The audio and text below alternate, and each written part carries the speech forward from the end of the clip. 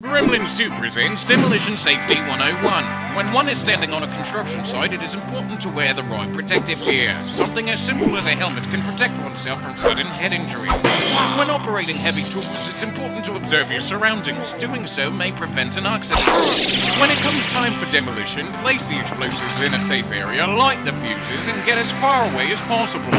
This has been Demolition Safety 101 with the all-new Gremlins 2, the new batch Demolition Gremlins 2 pack. Comes with everything you see here.